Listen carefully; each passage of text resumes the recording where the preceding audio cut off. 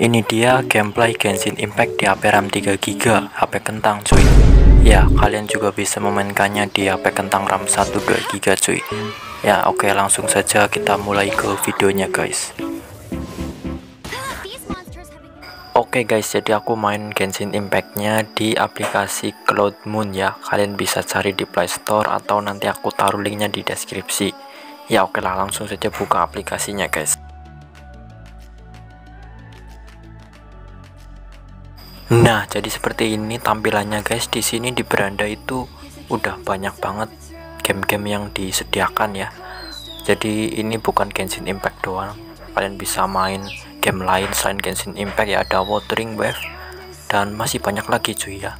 Mantap jiwa cuy. Dan di sini aku sudah login ya pakai email ya.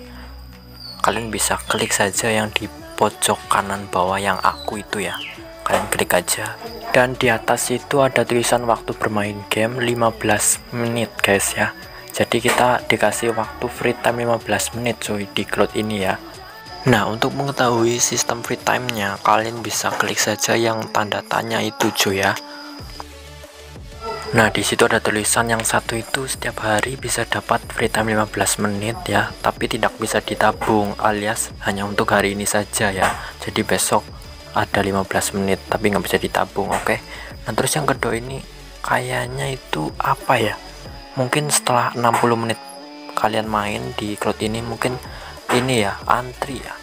Nah yang kalau ketiga ini jadi free time itu direset setiap jam 2 pagi guys. Ya jadi seperti itu coy. Di sini juga bisa langganan ya paket standar 56.000 sebulan ya.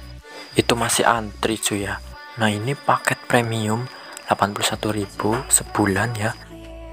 Ini paket pro dan bisa 60 fps guys. 169.000 cuy. Dan ini paket per jam 15.000 itu 5 jam ya. Pas 7 hari 23.000 mungkin ini yang lumayan worth it sih. Untuk kualitas streaming HD oh ini berarti harus beli paket yang premium coy ya jadi untuk yang gratisan kita menggunakan kualitas SD atau 720p ya kayaknya ya. Di sini banyak banget gamenya ya guys. Cuma aku di sini aku mau coba tes Genshin Impact-nya cuy ya. Oke menghubungkan. Jadi kemarin itu aku udah main Genshin Impact di Cloud Moon ini guys ya. Kita lihat apakah nanti disuruh login lagi atau enggak nih terus save nya juga kita lihat ya.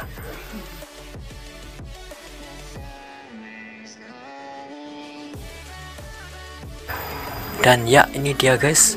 Jadi di sini nggak perlu login lagi ya. Karena kemarin aku itu udah login cuy. Dan di sini tuh servernya aku pilih Asia aja guys ya. Oke langsung aja klik mulai cuy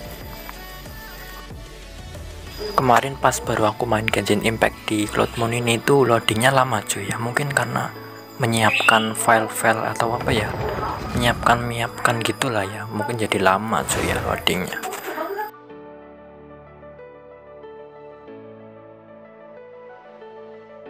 Dan ini masih loading jadi sabar tunggu aja cuy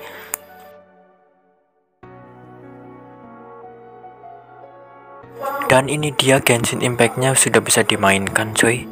Bentar bentar. Ini di tempat mana ya? Oh iya iya benar-benar di tempat ini. Berarti ini melanjutkan save data yang sebelumnya aku main cuy. Oke oke mantap.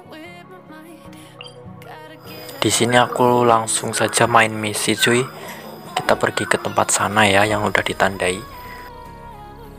Jadi grafiknya nggak bisa HD ya cuy. Itu harus paket premium jadi ini 720p kayaknya ya. Tapi ini lumayan lah buat player gratisan kayak kita ya kan. 15 menit setiap hari bisa main Genshin Impact cuy. Ini masih lancar cuy. Jadi belum ada kendala. Pingnya juga masih hijau ya. Oke kita pergi ke tempat sana ya main misi dan wow ini patah-patah cuy. Dan padahal pinknya hijau dan ini kualitas semakin burik ya. Atau ini menyesuaikan koneksi internetnya mungkin kali ya. Ya oke okay lah.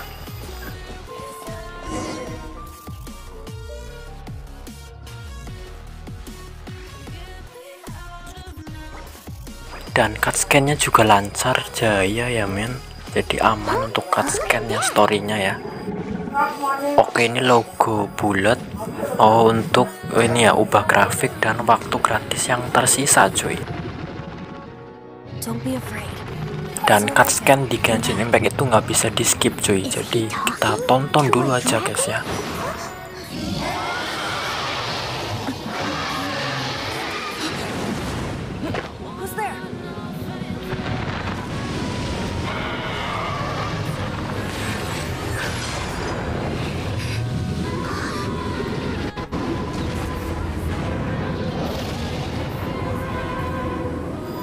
naga birunya sudah pergi cuy nah jadi di Genshin Impact ini nanti juga lawan si naga itu ya oke ini dialognya cuy ya jadi kita lanjut lagi nanti lihat gameplaynya seperti apa apakah masih lancar atau ngelek-ngelek ya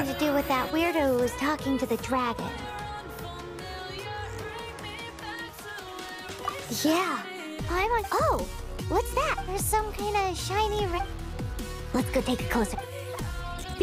Oke, aku coba gerakin karakternya, cuy. Dan di sini ya masih lancar-lancar aja ya. Cuma yang tadi sebelumnya itu ngelek nggak tahu kenapa, mungkin koneksi atau gimana ya.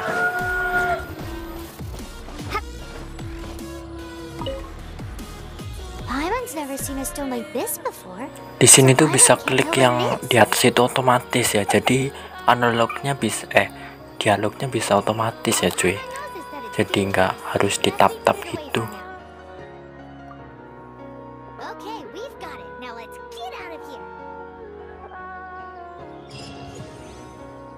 Oke kita melanjutkan petualangannya lagi men. Kita ke tempat sana ya.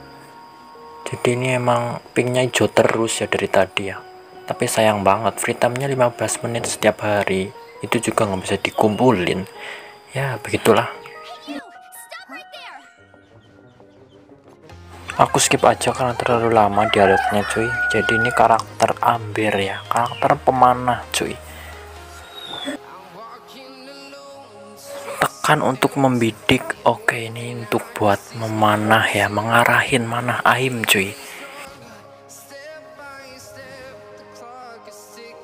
Kita coba satu kali lagi tembakan.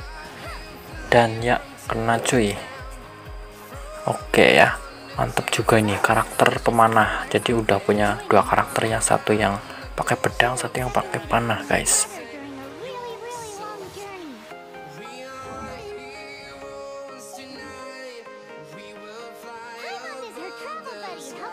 Dan di sini kita jalan-jalan ke sana ya. Apakah masih ngelag atau masih lancar saja cuy? Nah ini dia cuy kan. Patah-patah gini cuy patah-patah ya. Tapi nggak terlalu lama nanti balik semula lagi men ya. Grafiknya nggak HD nggak masalah. Yang penting kelancarannya aja sih guys. Karena kita main cloud game itu yang penting gamenya lancar aja ya. Ya walaupun grafik ini perlu juga Ya oke okay guys, mungkin segitu saja video tentang main Genshin Impact di aplikasi Cloud Moon. Nanti linknya aku taruh di deskripsi ya. Ya oke, okay, terima kasih sudah menonton. Sampai jumpa di next video cuy.